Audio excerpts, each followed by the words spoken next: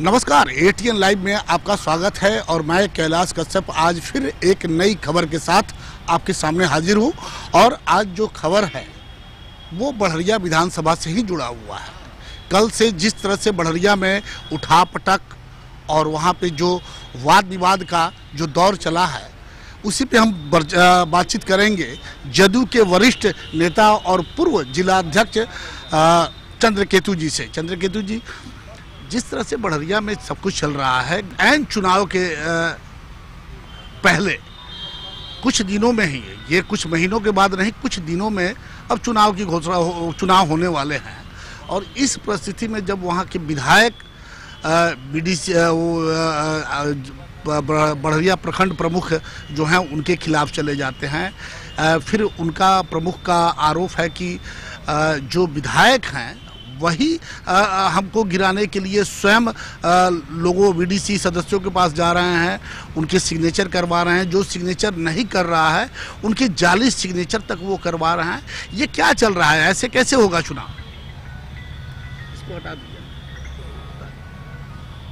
देखिए बढ़हरिया के माननीय विधायक जी से भी थोड़ी देर पहले मेरी मुलाकात भी हुई थी। वो बात भी हुई थी। लेकिन देखिए ये जो प्रश्न आप कर रहे हैं ये मामला उतना गंभीर नहीं है।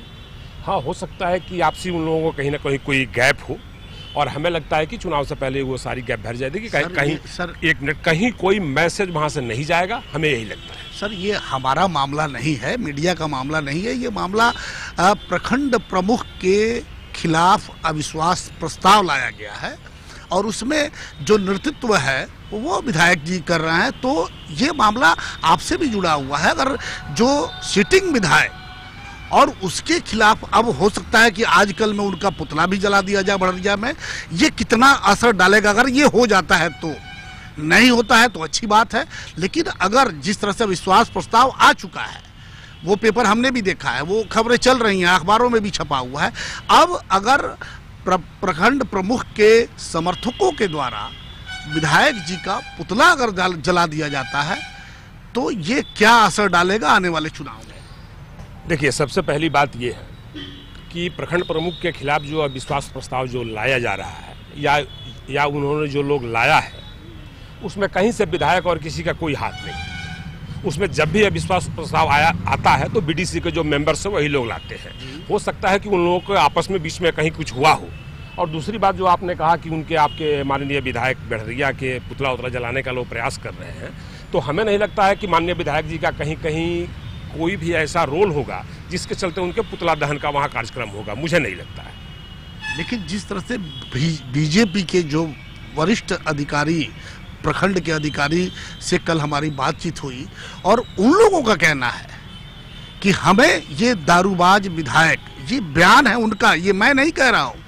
आपको समझना होगा कि जब मीडिया के माइक पे आ करके और कोई व्यक्ति एक चुने हुए विधायक को अगर इस तरह से कहता है तो मामला कहीं ना कहीं गंभीर हो जाता है। और वर्तमान विधायक के खिलाफ इस तरह से कहा जाता है कि वो दारूबाज विधायक हम बर्दाश्त नहीं करेंगे। अगर ये हम इनका, मैंने विरोध करते हैं, ऐसे विधायक की ज़रूरत नहीं है। देखिए, आपने एक शब्द का प्रयोग किया, गंभीर। तो मुझे लगता है कि आजकल गंभीरता बहुत कम लोगों में है। बहुत सारे ऐसे लीडर्स हमारे हैं बहुत ऐसे वर्कर्स हैं जिसके सामने अगर माइक वगैरह लग जाता है तो उनको बोलने के लिए कहीं कुछ बोलने लगते हैं कहीं गंभीरता उनकी उन, है नहीं। तो जहाँ तक गंभीरता की बात है विधायक जी को लोगों लोगों ने जो कहा यह कहीं से उचित नहीं है। लेकिन एक चीज़ मैं दावे के साथ कह सकता हूँ चाहे जो भी कार्यकर्ता जो जो कुछ भी उनके विषय में उनके खिलाफ में बोलना है बोल ले लेकिन जिस दिन श्याम बहादुर सिंह सिवान ज़िले से विधायक होकर पटना नहीं पहुँचेंगे तो मुझे, मेरा ये दावा है कि मेरे दल के 80 परसेंट लोगों, कार्यकर्ताओं का पटना जाना और पटना की राजनीति बंद हो जाएगी। तो इसलिए श्याम बहादुर सिंह के पक्ष में या विपक्ष में ऐसी बातें नहीं बोलना चाहिए। आप पूर्व जिला अध्यक्ष हैं और बड़े सधे सधाए राजनेता भी माना जाता है आपको, आपकी अच्छी पकड़ भी है। अगर ये सब मामला आया हुआ है तो ये दल के लिए घातक नहीं है ये मामला आया हुआ है। सर इसको आप नजरअंदाज नहीं कर सकते हैं।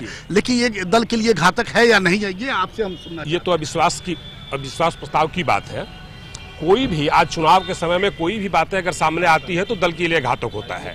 लेकिन हम लोगों का यह प्रयास होगा कि ये घातक न बने इसको जहाँ भी है वहीं हम लोग उसको रोकें और रोक के सर आ- ये ये ये सिर्फ़ श्याम बहादुर जी तक ही सीमित नहीं है। अभी चंद रोज पहले जब माननीय स्वास्थ्य मंत्री मंगल पांडे जी आए थे और महाराजगंज में एक भव्य कार्यक्रम था, वहाँ जीएनएम कॉलेज का उन्होंने उद्घाटन किया, उस समय भी ये भी बात खड़ा हुआ था। उस समय जो वहाँ के स्थानीय विधायक हेम नारायण, जो जदयू के विधायक हैं हेम नारायण शाह उनका वो मंच पे जो भी नाम लगा हुआ था, सारे लोगों का नाम था, लेकिन उनका नाम नहीं था। वहाँ पे उनके कार्यकर्ताओं ने हंगामा मचा दिया। हाँ इस तरह से जो बातें सामने आ रही हैं, ये तो कहीं से शुभ लक्षण इसको नहीं माना जाए देखिए, स्थानीय विधायक का नाम न होना गलत बात है, नाम होना चाहिए। लेकिन हमें यह लगता है कि कोई जानबूझकर वहाँ ये बात न हुई थी। वह टेक्निकल बात है। चूँकि रगड़गंज जहाँ विधानसभा का कार्यक्रम रखा गया था, जहाँ उद्घाटन हुआ था, वो रगड़गंज जो जगह है वह दरौदा के अंतर्गत आता है। लेकिन बिल्कुल सत्य बात है कि महाराजगंज से सटे हुए वो बाज़ार है, लेकिन वो क्षेत्र जो है दरौदा का है। तो इसलिए हो सकता है टेक्निकली कोई बात हो। लेकिन ऐसा बात नहीं है कि जानबूझ के इनका नाम हटाया गया उस बैनर से। उससे पहले माननीय मंत्री जी से हमारी भी बात हुई थी। वो सारे एक मिनट माननीय मंत्री जी ने साफ़ सुथरा शब्दों में कहा था कि कहीं कोई किसी प्रकार का कोई विवाद नहीं हो। इसलिए हमने माननीय दोनों सांसद सिवान और महाराजगंज और वहाँ के जो माननीय दोनों विधायक है हमने नाम चढ़वा दिया है जो शिलालेख वगैरह है। हो सकता है बैनर पर नाम कहीं वो टेक्निकल मिस्टेक या जैसे भी हो मिस्टेक के चलते नहीं चढ़ा हो। तो कहीं से सोची समझी ये साजिश नहीं थी। अब यह बढ़रिया पे आप लोगों ने क्या सोचा है कि ये आग शांत होगा ये या आग, आग और बढ़ेगा? बढ़रिया पर तो आप शुरू से ही पूछते रहे। हमने ये कहा कि बढ़रिया में आग नहीं बढ़ेगा जैसे भी होगा वो शांत हो जाएगा। चलिए ये आग शांत हो ये सबकी कामना है और सभी लोग चाहते हैं लेकिन जिस तरह से बड़रिया में कल जो जो राजनीतिक माहौल वहाँ पे दिखाई दिया है अ, उसके बाद अभी विधायक जी से हमारी बातचीत नहीं हुई है। विधायक जी क्या कहते हैं उनका क्या वक्तव्य है, वो सामने आने के बाद इसमें से सच्चाई आएगा। हालाँकि जो प्र- प्रखंड प्रमुख हैं, उनका कहना है कि सब कुछ एकदम साफ़ तौर पे। जबकि कई बीडीसी सदस्यों ने भी कहा है कि विधायक जी स्वयं लोगों के यहाँ जा करके सिग्नेचर करवा रहे हैं और जिन लोगों, जो बीडीसी सदस्य सिग्नेचर नहीं कर रहे हैं उनका वो जाली सिग्नेचर का ये बहुत बड़ा गंभीर आरोप है। अब इस पर विधायक जी क्या बोलते हैं, उसके बाद ही स्पष्ट हो पाएगा कि बढ़रिया की जो राजनीतिक जो आग है, वो शांत होगी या और बढ़ेगी इस चुनाव के माहौल में। हालाँकि चंद्रकेतु जी ने इसे संभालने का बहुत काम किया है और हमारी शुभकामनाएँ हैं उनके साथ कि वो इसे संभाल सके।